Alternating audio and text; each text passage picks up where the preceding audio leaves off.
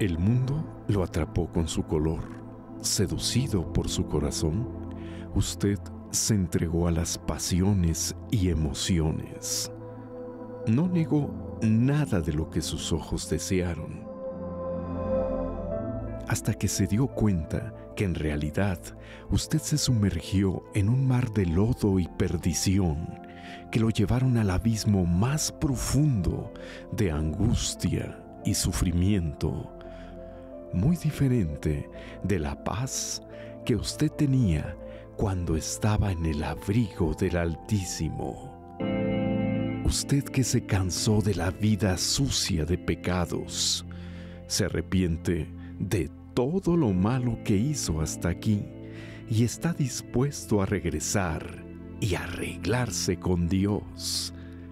Prepárese para definir su vida. Domingo 4 de abril, la Santa Cena de la Decisión.